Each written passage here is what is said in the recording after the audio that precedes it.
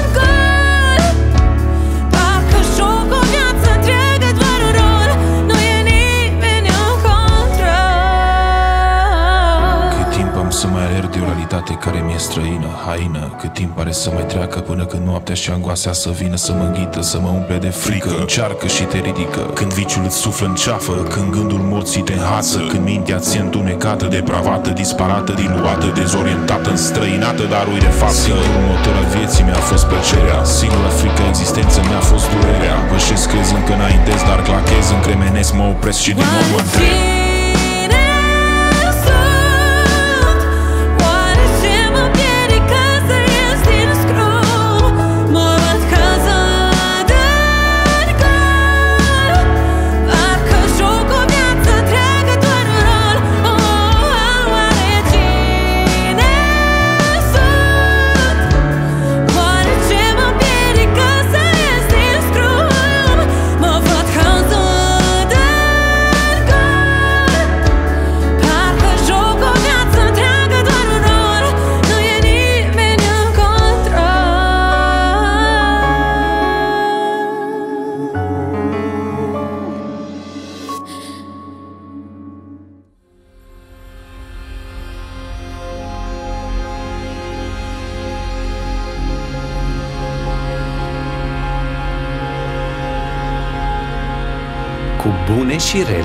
un sac de întrebări, împins de viață să am un răspuns, în stânga și în dreapta, în adânci căutări, mă întreb permanent dacă sunt de ajuns.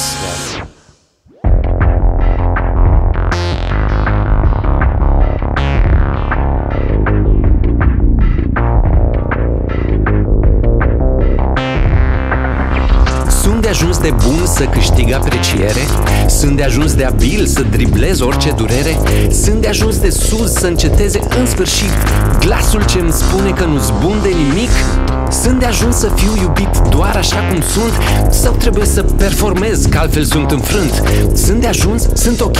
Sunt iubit? Sunt ca ei? Sau trebuie să joc un rol ca de obicei?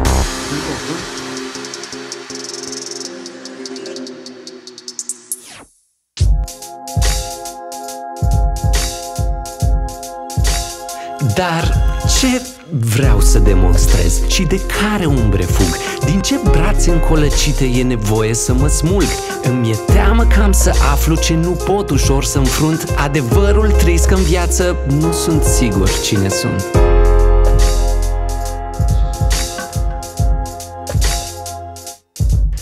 Oare câți și-au pus amprenta pe ce sunt în interior Și când dau drumul la gânduri sunt de fapt spusele lor Le-am crezut și le-am lăsat să-mi formeze realitatea Și au ajuns să fie filtrul ce mi-afirmă identitatea Sunt eu oare munca mea? Sunt eu oare școala? Oare în vârful piramidei nu se simte foamea? Foamea de a fi iubit, foamea de a face, foamea de a reuși, Foamea nu-mi dă pace Și împins de foamea grea mă hrănesc cu euri. Mint că bine, dar sub zâmbet se ascund rateuri. Nu mai știu ce-i bine, nu mai știu ce-i sfânt Nu știu ce e cerul, nu știu cine sunt. Și începând de aici încolo multe ajung neclare. Ce scop am pe acest pământ și ce rost mai are să trăiesc aici urmând atent țeluri mai înalte Dacă totul e până la mormânt și viu până la moarte Sunt viu până la moarte? Sunt viu? Atunci să trăiesc acum și aici. Cum cred eu că-i bine? Să-mi ofer orice e în stare Viața astăzi să-mi anime. Dacă-i bun sau rău, chiar și păcat Nu vreau să conteze. Important e ca pe scenă Filmul să ruleze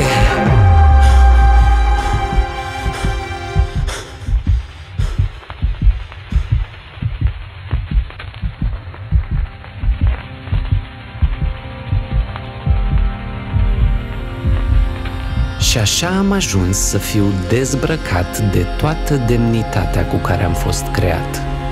Și aici am ajuns, în gol, să mă confrunt cu întrebarea dură, totuși, cine sunt?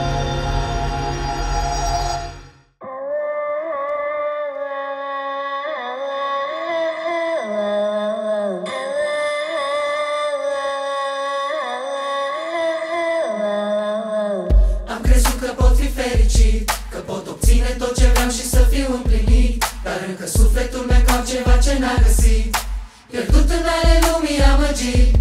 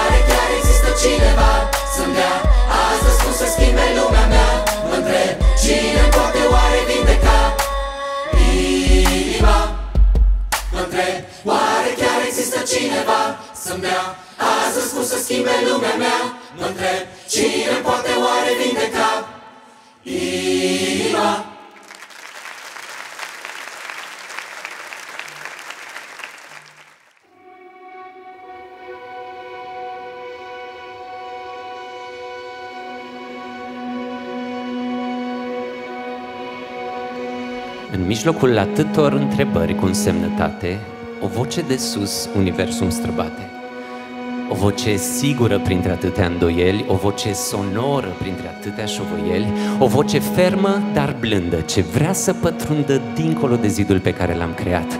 O fi chiar Dumnezeul pe care l-am negat?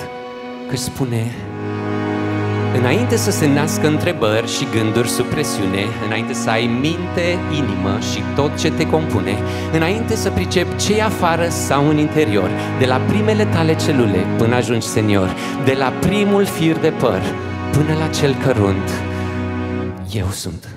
Eu sunt cel ce sunt. Înainte să resimți golul adânc din tine și să încerci să cauți febril gust printre ruine, înainte ca apetitul să-ți corupă realitatea și să-ți pierzi întreaga noapte căutându-ți sațietatea, doar să ajungi dezamăgit la venirea dimineții, eu sunt. Eu sunt pâinea vieții.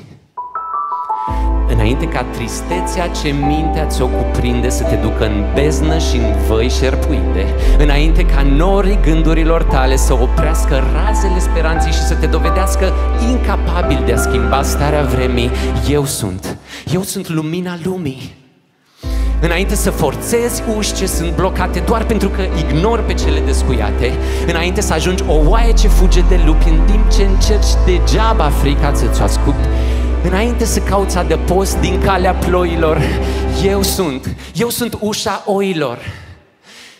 Înainte să pleci din staul cu bună știință, iar păcatul să te transforme într-o altă ființă, Înainte să te încurci în spini, iar țepii din deșert să-ți străpungă carnea și să te lase inert. Înainte să realizezi rătăcirea ta, îți spun, eu sunt, eu sunt păstorul cel bun. Înainte să guști moartea în suflet sau trup Înainte ca fiorii de gheață ce viața întrerup Să te apuce într-o stânsă și ultimă încleștare Și să te arunci apoi în grea disperare. Există cineva care oferă de plin mângâierea? Eu sunt, eu sunt învierea Înainte să mănânci din strugurii mândriei și să stragi seva din tulpinele mâniei Înainte să crezi că știi ce rod e bun și ce-i stricat Doar ca să te trezești la urmă gol și uscat. Înainte să ajungi de la podgorii la o firavă rămășiță Eu sunt, eu sunt adevărata viță. Înainte să cunoști ce e muntele sau valea Eu sunt, eu sunt calea Înainte să respingi cuvântul meu în care e ajutorul Eu sunt, eu sunt adevărul. Înainte să te întorci ca să nu mai vezi fața Eu sunt, eu sunt viața Căci eu sunt Isus, eu sunt cuvântul. Eu sunt Mesia ce am frânt mormântul. Sunt Creatorul, primul născut Rege suprem, sfârșit și început. Miel de sacrificiu, preot în oficiu.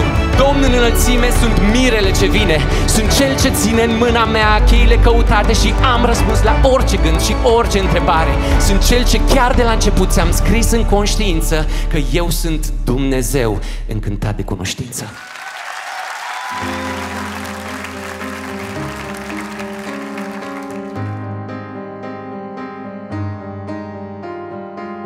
Astăzi ai tăi copii Se închină cu bucurie Îți cântă și îngerii. Tu ești Domn din veșnicie Astăzi ai tăi copii.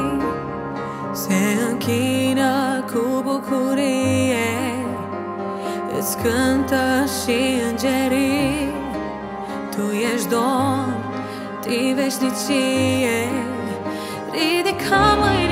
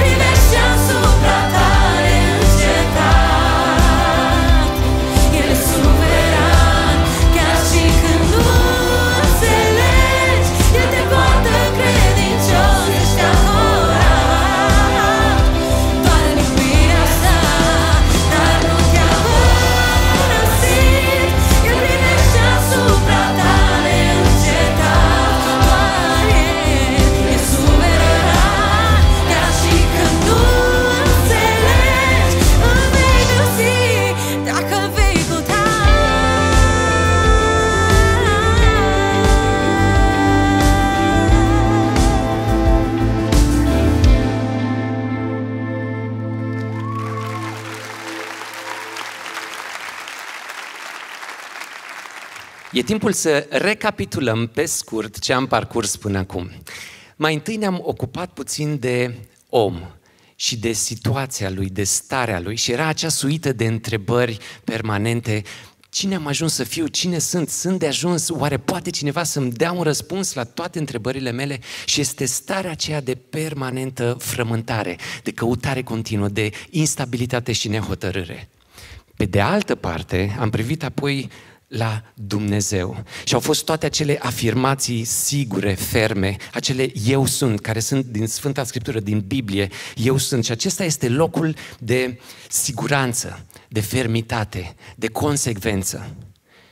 Și dacă omul și starea lui poate fi simbolizat printr-un mare semn de întrebare, iar Dumnezeu și fermitatea lui poate fi simbolizat printr-un mare semn de exclamare. Gândiți-vă ce ar fi dacă am luat cele două semne, unul într-o mână, unul într-o mână și le-am apropia atât de mult încât s-ar suprapune. Am avea un semn de întrebare suprapus peste un semn de exclamare. Ce ne-am dat seama?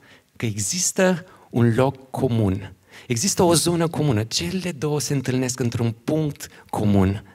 Și asta ne spune, odată în plus, că avem ceva în comun cu Dumnezeu. Am fost făcuți după chipul și asemănarea Lui și de aceea putem să vorbim despre astfel de lucruri, pentru că nu suntem doar substanțe și reacții chimice, suntem și suflet și duh, rațiune. Putem să vorbim despre asemenea lucruri. Și provocarea noastră este ca în viață să ajungi să pui punctul acolo unde e locul. La ce ne referim? În primul rând, te invităm să pui punct la toate prejudecățile pe care le avem despre Dumnezeu.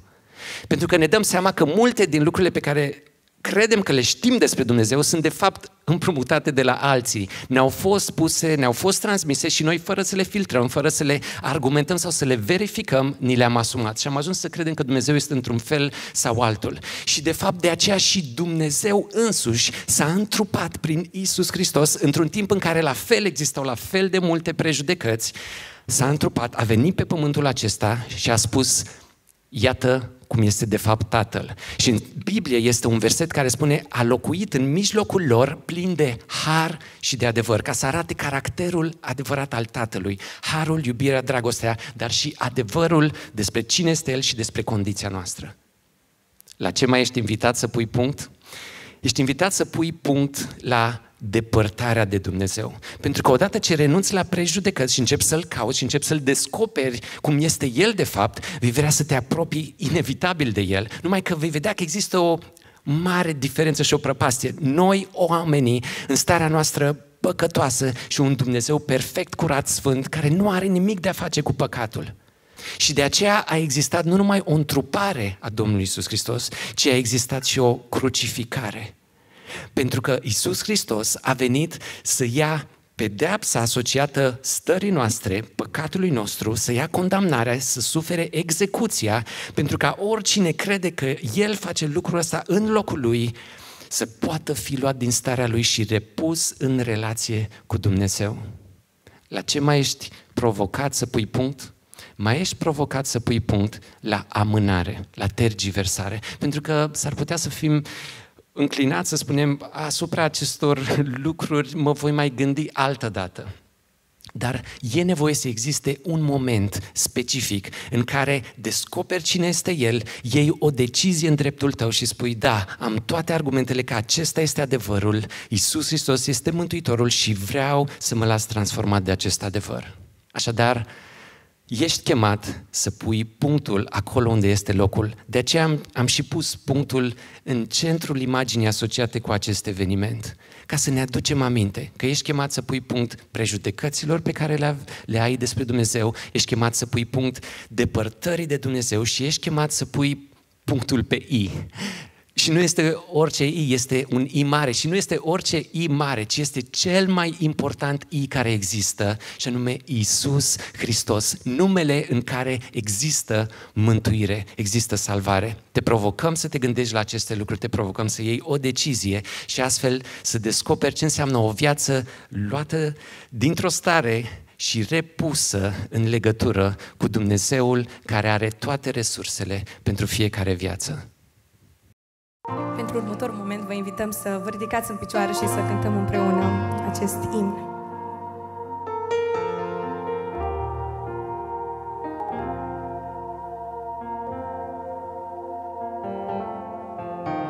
Știu cine am fost Știu de unde tu m-ai scos Rătăceam colț și orb Și lipsi de orice scop între noi.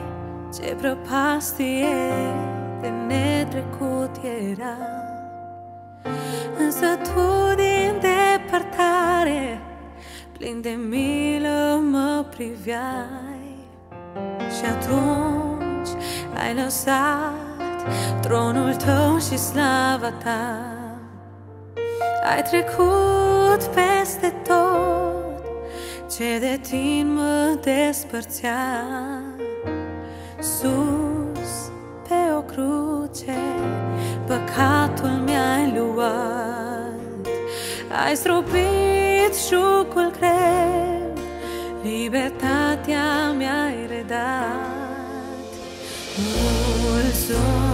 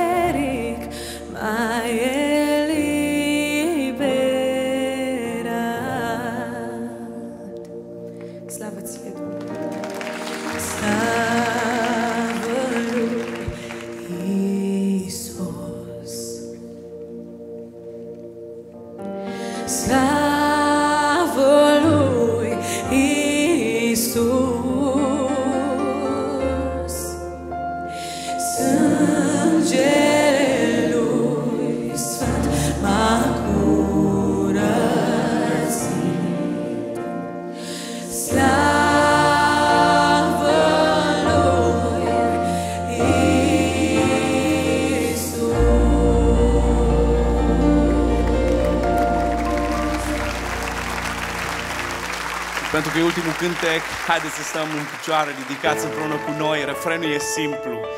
Spune, suntem una! Și haideți să ne despărțim că am stat ca mulți, unim palmele noastre